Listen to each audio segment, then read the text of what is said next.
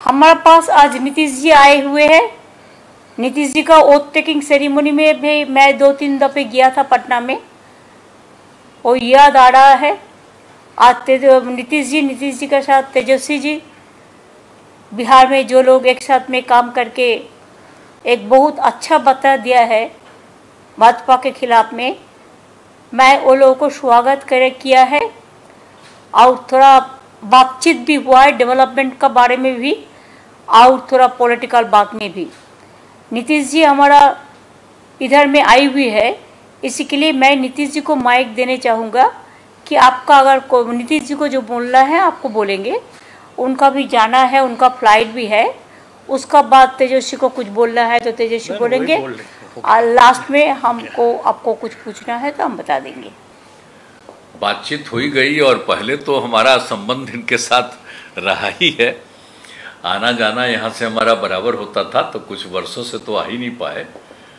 इनसे बात हुई और आज यहाँ आने का मौका मिला तो बड़ी खुशी की बात हुई। यहाँ सब कुछ देख रहे हैं, कितना इन्होंने और डेवलप कर दिया है तो इन सब चीज़ों को।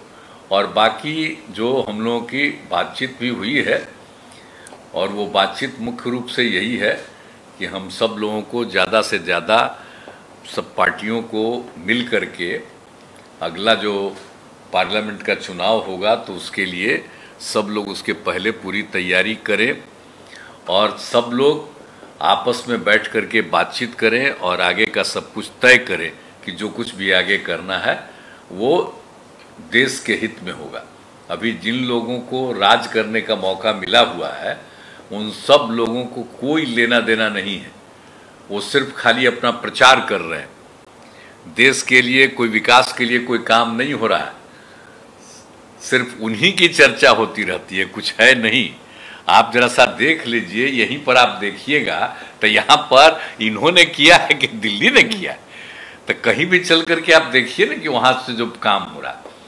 इसलिए बाकी सब कुछ ये है तो देश के हित में। और लोग तो जो कुछ भी हम लोगों के देश का पुराना इतिहास है और आज़ादी की लड़ाई है तो उन सब चीज़ों को नई पीढ़ी तक सब तक, सब दिन के लिए लोगों को रहना चाहिए। तब ये लोग पता नहीं, इतिहास को बदल देंगे, क्या करेंगे तो सब लोगों को अलर्ट होना है। इसलिए हम लोग सब लोगों से बातचीत, और आज बहुत अच्छी बातचीत हुई है।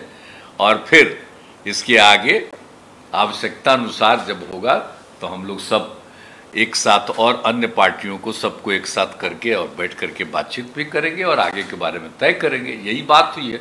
और बहुत अच्छा है। बहुत पॉजिटिव बात हुई, हम अपना ही कहेंगे। बहुत अच्छा बात हुआ। है चलिए, आपको जो कहना कर दीजिए। नहीं, नीतीश जी आई हुई है, तेजस्वी भी साथ में आई हुई है, और नीतीश जी का मिनिस्टर भी आई हुई है। हमने खुश है कि हमारा इधर में आई हुई है, बंगाल में। हम तो नीतीश जी को यही रिक्वेस्ट किया है कि नीतीश जी देखिए, जयप्रकाश जी का जब मूवमेंट हुआ था बिहार से हुआ था अगर हम बिहार में और पार्टी मिलके मीटिंग करें, एक पहले घरवा मीटिंग, उसका बाद में तैयार करें, बाद में कहाँ जाना है, कहाँ नहीं जाना है, क्या मैनिफेस्टो है, वो सब बाद में बताएँगे। लेकिन पहले एक साथ में एक मैसेज कर देना है कि हम लोग सब एक साथ में है। हमारा तो हम तो पहले से आप लोगों को कह चुका कि हमारा इसमें कोई ऐतराज नहीं है। हम चाहते हैं बीजेपी ज़ीरो बन जाए। बहुत बड़ा हीरो बन गया, कोई कुछ नहीं करके। मीडिया का सपोर्ट में और नैरेटिव बना के खाली झूठा बात कह के फेक वीडियो बना के और फेक बात करके, और गुंडा गद्दारी करके, ऐसा नहीं चल सकता है। तो इसी के लिए नीतीश जी सबको साथ बात करेंगे, हम भी बात कर रहे हैं। तो एक साथ में मिल के हम लोग चलेंगे। हमारा कोई पर्सनल ईगो का कोई बात नहीं है। हम कलेक्टिवली एक साथ में काम करने चाहते हैं। यही मैसेज है। ठीक। I think it is okay Tejashwi कुछ बोलो? नहीं नहीं हो गया बात हो होगी।